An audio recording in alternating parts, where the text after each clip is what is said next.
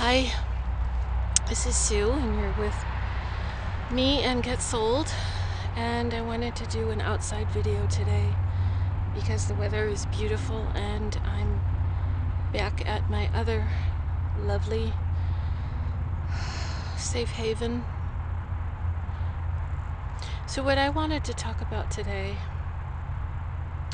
is even though I'm still going through stuff, one of the things I keep hearing over and over again is that I've been through so much stuff that I can actually start talking about the things that kept me alive, that kept me going when it seemed like everything was impossible. That no matter how hard I tried, there was just no way I was winning.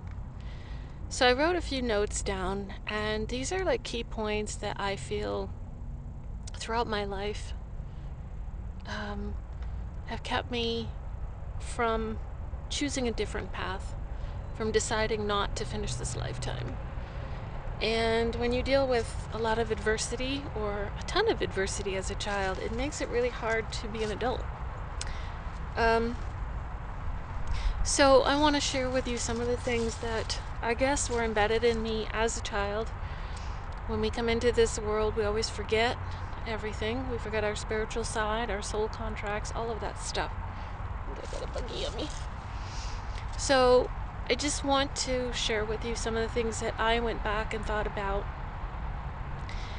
And I remember being a very loving little girl. It's like all I wanted to do was love and be loved.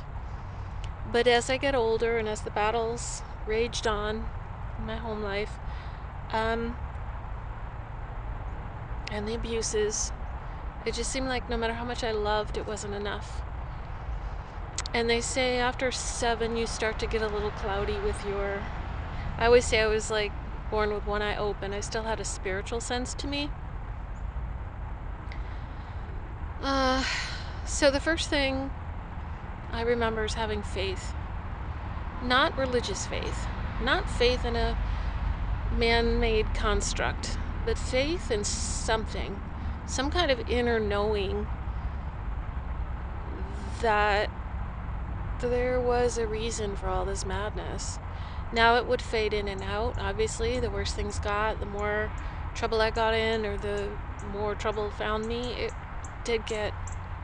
I got a bug. Um, pretty rough. The second one was believing somehow when I was young that there was a purpose for all of this has to be a reason for suffering. There has to be. But when I was little, I would just think God was mad at me. Now I obviously know better. That's not it. That's a whole other video. Um, I think the thing I did all the time that I didn't realize was uh, I would surrender. I would surrender. Um, I would surrender to something different if all of the other stuff wasn't working. Um, as I got older in life, probably late 30s, I learned about soul contracts. Um, Caroline Myss was a good um, resource on that for me. I had gotten her book um, on the contracts, and uh, that was pivotal we'll say. But I really didn't understand all of it or could put my own stuff in place until only like maybe six years ago to really apply all of it. Self awareness and discovery wow, that's been a lifelong thing. That's been my whole life trying to understand why, why things keep going wrong, why I can't seem to get it, why life is so hard for me, why no matter how much I try to do good and good is in my heart, bad things happen. Also, illnesses later on, being in hyper um, fear. Oh, oh dear. Well, hello, stink bug. I knew there was a bug in there somewhere. Oh dear. Ah, okay. That's nature. Oh.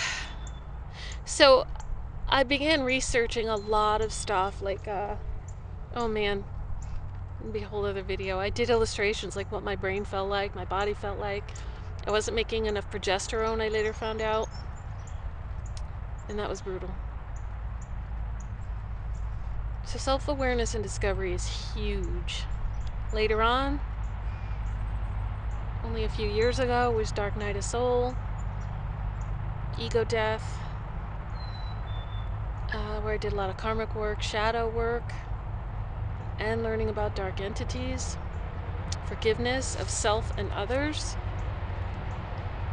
Um, I then also wrote about separating um, traumatic behaviors and what was child abuse uh, from behavioral differences with how my brain was wired with ADHD, etc. Then I went into understanding the body's purpose and its intelligence, emotional purpose and its intelligence, and tying it all together between spiritual, mental, emotional, and body. And I found a lot of my answers there. It takes time, but to be responsible for all of that is what the goal is.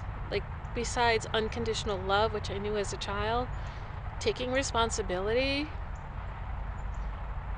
is honestly the biggest thing. Because you can know all these things, but unless you're willing to go through each one and understand each one, each concept, you're not going to get control of your life the way you want to. And if you're still in victim mode, you're not understanding any of these concepts. And being in victim mode is giving your power away, which I did for most all of my life. So I just wanted to share that with you. I hope this video took because I can't see the screen. But thank you for joining me and I'll see you again. I wanted to add a little PS to the end of the video. When I mentioned unconditional love, that was who I was uh, as a child. I felt it, but I didn't receive it. So I wanted to clarify that. And I also want to say that not everybody has, I know, the extreme background I've had, but everyone is a human, everyone as a soul here in a body is here to experience all of those things. Maybe I took on an awful lot. I did.